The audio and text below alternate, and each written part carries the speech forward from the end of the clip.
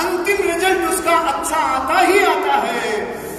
एक बार पुष्कर में गधों का मेला लग रहा था। तो गधों के मेलों में एक आदमी अनाउंसमेंट कर रहा था जो आदमी मेरे गधे से ना करवा दे ना करवा दे उसको पाँच हज़ार का इनाम ना करवा दे पाँच हज़ार का इनाम। तो अपने जैसा कोई था जो चला गया और जाके कान में बोला और बहन ने किया ना। उसको पाँच हज़ार देने पड़ गए। थोड़ी दूर घूमने गया। तो अब की बार उसने कंडीशन और भारी कर दी।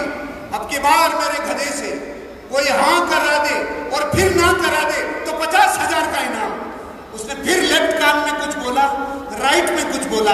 पहले में उसने हाँ किया, दूसरे में ना किया। अब की बार उसने बोला, अरे दादा, तू कान में बोलता क्या है? ये बता तो दे, तू कहता क्या है?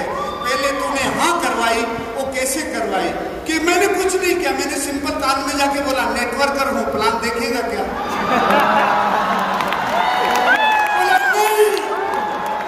तूने कैसे करवाई? और फिर हाँ को फिर ना कन्वर्ट कैसे किया कि मैंने फिर बाएँ कान में जाके बोला, पहचाना क्या?